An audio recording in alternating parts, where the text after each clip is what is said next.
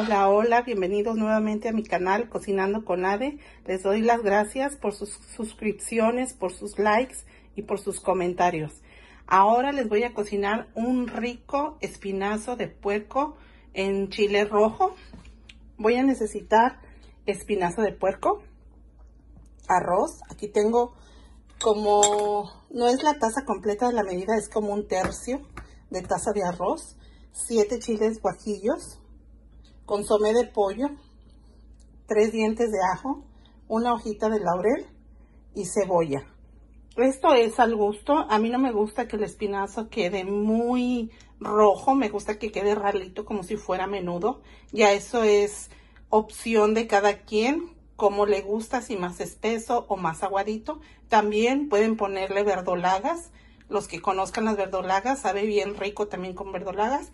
Pero yo en este caso voy a utilizar arroz. Vamos al siguiente paso. Aquí ya tengo el agua hirviendo, ya está bien caliente. Ahora voy a poner el espinazo, aquí lo tengo ya lavadito.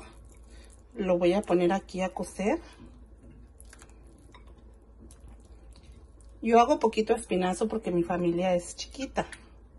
Entonces no utilizo tanto, pero ya es dependiendo del tamaño de su familia.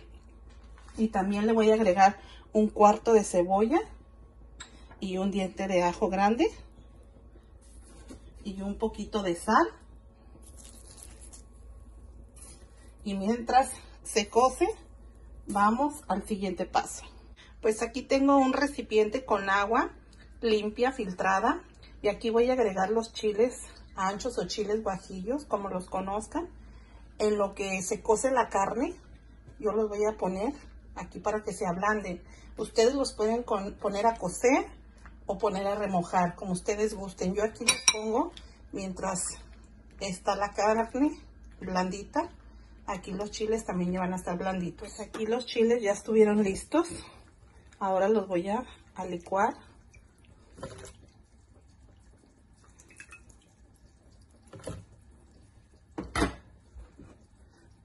Agua.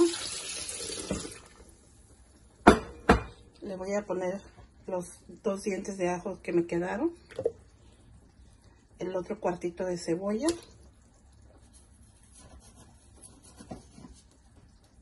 y sal.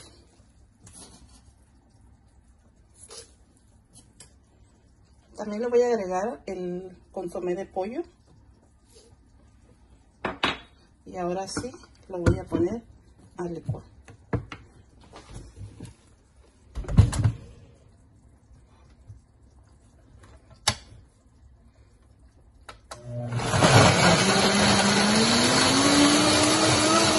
Pues aquí ya está mi chile licuado. Lo voy a abrir. Listo, miren, bien licuadito. Ahora voy a checar la carne, a ver si ya está blandita para podérsela agregar. Checamos con un tenedor. Ya está lista, miren. Bien blandita. Ahora sí, voy a agregar el chile.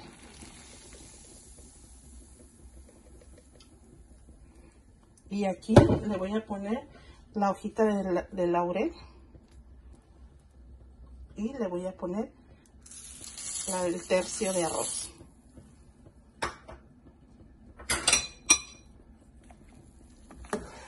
Ya nada más voy a dejar que hierva un poquito lo que se cocina con el chile y el arroz.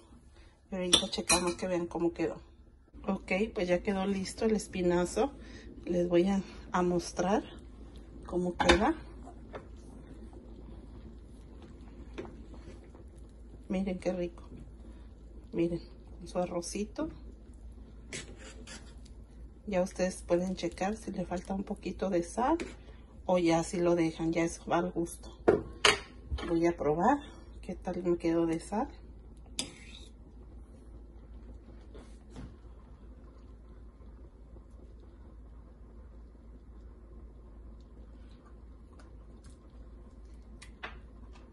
Para mi gusto quedó perfecto.